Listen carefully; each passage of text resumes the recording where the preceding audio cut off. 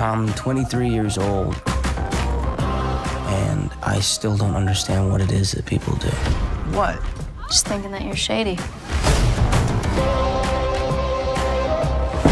It's a very epic film. It spans 18 years of Cherry's life. And it's ultimately a modern, tragic love story. I take all the beautiful things to heart till I about die from it. It's kind of a role of a lifetime. This character explores so many different avenues of life. You have a romantic film that leads into a war film that leads to a drug film. Sometimes I feel like I've already seen everything that's gonna happen. And it's a nightmare. We have a very passionate connection to our hometown of Cleveland, and the locations of the book were specific to areas that Anthony and I grew up in. We had very similar upbringings with extremely different outcomes. The city is really a character. So what makes a Joker like you want to join the United States Army for? Sense of purpose. We wanted to try to convey as best as we could the experience of being in Iraq. With Joe and Anthony, they're constantly pushing you to go the extra mile. We made a decision to sit in longer takes with him, sitting with someone who is ill prepared for death and destruction on a scale uh, that he's never seen before. There's so many moving parts. We're so lucky we've got the crew to be able to put the moving parts in the right place. Prepping this movie, we talked about it as jazz. There's a huge process of discovery. We're always trying to find the magic in any scene that really brings the story out.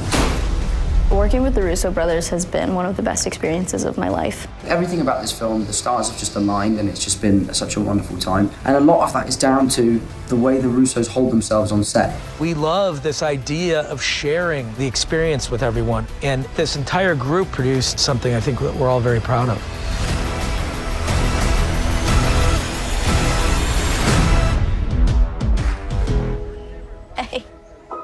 Hey, Hey, I'm really happy you're here. Why is that? Because I like you. A lot. You wanna go for a walk? We meet Cherry, and he's a kid who's having a hard time, just doesn't really know why he feels the way he feels. And he meets this wonderful lady called Emily. Cherry is the first time Emily has ever experienced love. It's just pheromones playing tricks on people. I love you. She's finally escaped an abusive home. It forces her to face her demons in a way that causes her to self destruct. I'm leaving for good at the end of the semester. Please tell me that you're kidding. This isn't funny. Why would I be kidding you?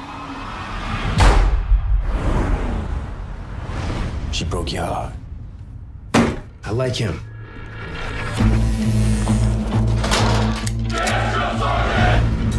She is the one that leaves him, and he goes into this spiral, and he joins the military.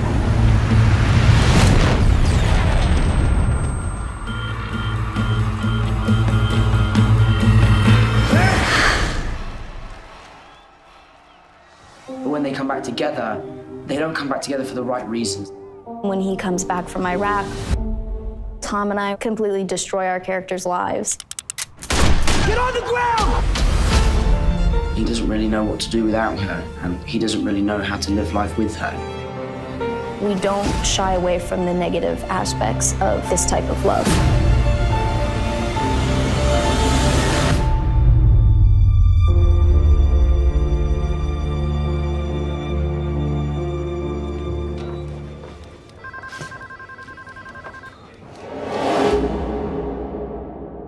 I'm 23 years old, and sometimes I wonder if life was wasted on me.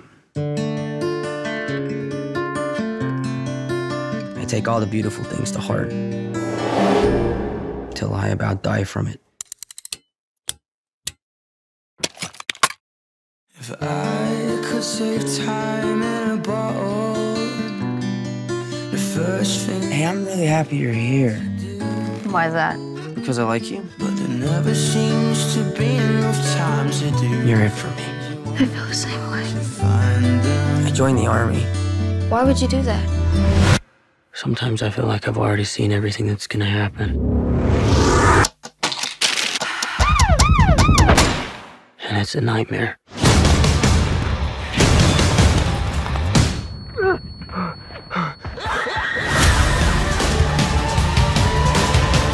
My My one true accomplishment was not dying. I have this noise in my head. It'll stop. One day it'll go quiet. I don't imagine that anyone goes in for a robbery if they're not in some kind of desperation. I've been at this a while now, and it's no secret what my face looks like. Get on the ground! One thing about robbing banks is you're mostly robbing women, so the last thing you want to be is rude. Ma'am, it's nothing personal.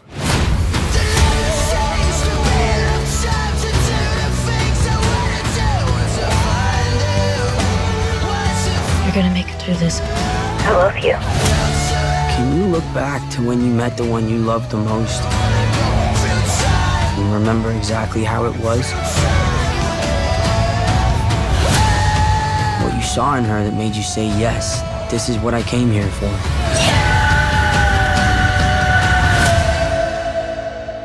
Sometimes I feel like I've already seen everything that's gonna happen. And it's a nightmare.